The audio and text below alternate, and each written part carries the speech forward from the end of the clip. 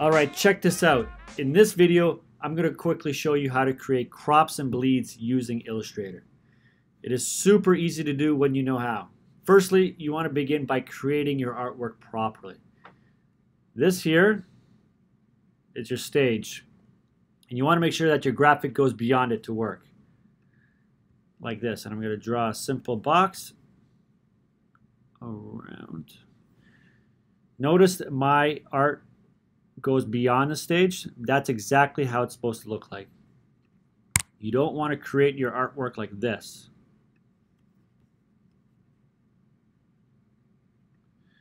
If you did it this way, it's not going to work. So take that art and enlarge it past the stage edge, like this. Once you've completed your graphic and are ready to export, go to File, Save As, down below here, change the file format to PDF. Here I'm going to name it crops and bleeds.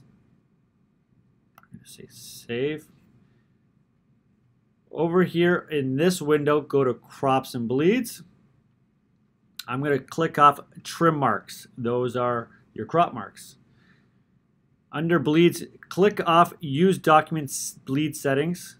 Make sure your chain is clicked on and just pick one of these and I'm going to just bring this up to a quarter of an inch. You can go all the way up higher to half an inch, but usually a quarter of an inch is good enough.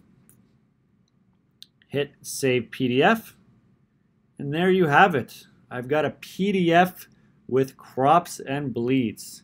Pretty simple, right? All right, thank you guys for watching. Go ahead and hit that damn like button if you found this video useful. Or if you have any questions, leave a comment. Until next time, guys, I'm out.